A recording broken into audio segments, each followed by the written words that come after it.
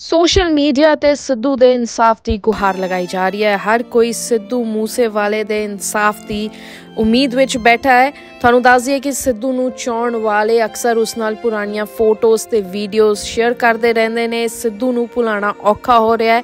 ਉਸ ਦੇ ਫੈਨਸ ਕੋਈ ਨਾ ਕੋਈ ਉਸ ਦੀ ਵੀਡੀਓ, ਕਦੀ ਉਸ ਦੇ ਟਰੈਕਟਰ ਨਾਲ, ਕਦੀ ਉਸ ਦੇ ਕੱਪੜਿਆਂ ਨਾਲ, ਉਸ ਦੀਆਂ ਪੁਰਾਣੀਆਂ ਯਾਦਾਂ ਕਾਲਜ ਦੀਆਂ ਯਾਦਾਂ ਸ਼ੇਅਰ ਕਰਦੇ ਰਹਿੰਦੇ ਨੇ। ਅਜਿਹੀ ਇੱਕ ਵੀਡੀਓ ਅੱਜ ਤੁਹਾਨੂੰ ਦਿਖਾਉਣ ਜਾ ਰਹੇ ਹਾਂ, ਜਿਸ ਵਿੱਚ ਸਿੱਧੂ ਦੀ ਡਿਜ਼ਾਈਨਰ ਨੇ ਇੱਕ ਵੀਡੀਓ ਪਾਈ ਹੈ ਸਿੱਧੂ ਦੀ ਜੈਕਟ ਦੇ ਨਾਲ। ਤੁਹਾਨੂੰ ਦੱਸ ਦਈਏ ਕਿ ਇਹ ਜਿਹੜੀ ਜੈਕਟ ਹੈ, ਇਹ ਸਿੱਧੂ ਮੂਸੇਵਾਲੇ ਨੇ ਆਪਣੇ ਲਾਸਟ ਗਾਣੇ ਲੈਵਲ ਦੇ ਵਿੱਚ ਪਾਈ ਸੀ।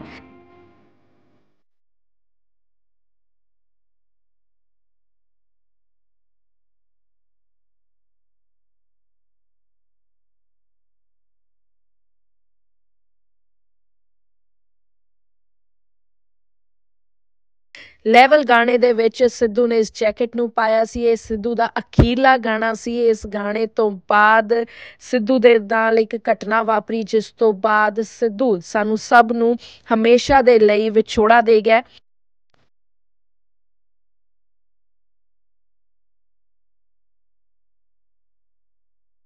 ਇਹ ਜੈਕਟ ਸੋਸ਼ਲ ਮੀਡੀਆ ਤੇ ਵਾਇਰਲ ਹੋ ਰਹੀ ਹੈ। ਇਹ ਸਿੱਧੂ ਦੀ ਡਿਜ਼ਾਈਨਰ ਹੈ ਜਿਸ ਨੇ ਇਸ ਜੈਕਟ ਨੂੰ ਡਿਜ਼ਾਈਨ ਕੀਤਾ ਸੀ। ਇਸ ਡਿਜ਼ਾਈਨਰ ਦੀ ਜੈਕਟ ਨੂੰ ਸਿੱਧੂ ਨੇ ਆਪਣੇ ਅਖੀਰਲੇ ਗਾਣੇ ਲੈਵਲ ਦੇ ਵਿੱਚ ਪਾਇਆ ਸੀ।